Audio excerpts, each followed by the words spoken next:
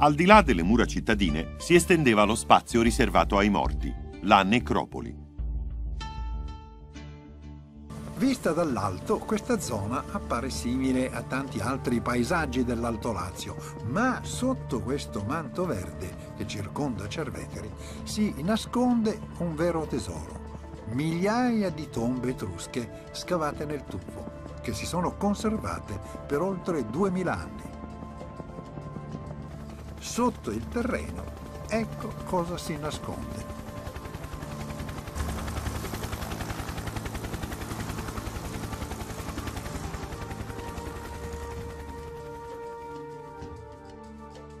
Questi ambienti straordinari e inquietanti sono arrivati fino a noi, ancora intatti. Qui i corpi dei defunti venivano portati per il loro viaggio nell'aldilà. Ecco cosa fecero. Scavarono un lungo canalone e sui due lati cominciarono a scolpire delle strutture circolari destinate a ospitare le sepolture. Tutto quello che vediamo quindi non è stato costruito, ma scavato nel tufo, così come avviene quando si scolpisce un bassorilievo. Nacque così una specie di piccola città scolpita, la città dei morti, poco lontana dalla città dei vivi. Queste strutture circolari erano i tumuli, costituiti da un tamburo di base coronato da una cornice e ricoperto da una calotta di terreno erboso. I tumuli erano sepolture monumentali, visibili da lontano e destinate ai membri delle famiglie più importanti. In certi tumuli si vedono ancora gli scalini che portavano a uno spazio dove probabilmente si praticavano riti e sacrifici.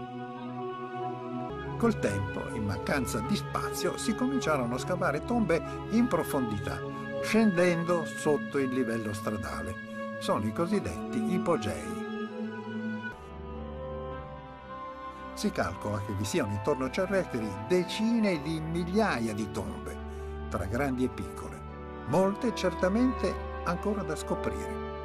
Qui vediamo la tomba della capanna, una delle più antiche, realizzata nel VII secolo a.C. Ricorda la forma delle abitazioni più semplici che caratterizzavano allora la città dei vivi. Poi, con il passare del tempo, le tombe divennero sempre più articolate, seguendo il modello architettonico delle abitazioni delle città. I morti erano deposti in camere, alle quali si arrivava attraverso un lungo corridoio.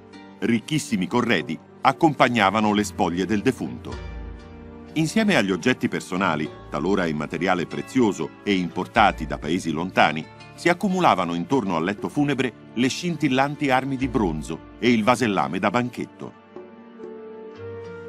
L'architettura degli interni era diversa da città a città. Nel sud dell'Etruria, a Cerveteri, la camera, interamente scolpita nel tufo, riproduceva l'interno delle abitazioni dei vivi, con le travi del soffitto, le colonne con i capitelli nell'atrio, i letti, i troni. Completamente ricoperte da affreschi dai colori sgargianti, erano invece le tombe dipinte di Tarquinia e di altre città dell'Etruria, che esibivano scene di banchetto, di danza, di giochi e di allusioni all'oltretomba. Nel VI secolo a.C. l'aldilà era immaginato come un'isola felice. Dopo il V secolo i defunti sembrano raccogliersi nel palazzo di Hades, intorno alla coppia degli dei inferi.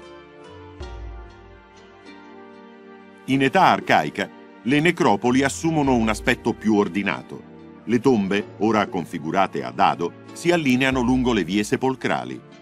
L'esempio meglio conservato è quello del crocifisso del tufo a Orvieto, che sembra imitare la pianta di una città. Come nella città, ogni tomba appartiene a una famiglia e il nome del capofamiglia è iscritto sull'architrave della porta. Ma questo sarcofago è solo uno degli innumerevoli tesori emersi dalle tombe etrusche e oggi sparsi nei musei di tutto il mondo. Sulle pareti sono raffigurati strumenti e utensili della vita quotidiana, una corda, coltelli, un ventaglio, mestoli, collane d'ambra. Gli Etruschi avevano creato una società in cui l'arte, il piacere e la bellezza avevano un ruolo di primo piano. Dagli scavi sono emersi oggetti di rara fattura e impressionante modernità. Questo è un astuccio per il trucco, uno specchio finemente intarsiato, un paio di sandali snodabili, una rete per il letto e perfino una protesi dentaria in oro risalente a oltre 2500 anni fa. Proprio l'arte orafa è uno dei fiori all'occhiello della civiltà etrusca. Lo testimonia la collezione di gioielli ritrovati nella famosa tomba Rigolini Galassi e conservati ai musei vaticani. Quello che stupisce è la straordinaria abilità delle lavorazioni, evidente in questi diademi in foglia d'oro che rivestivano il capo dei defunti.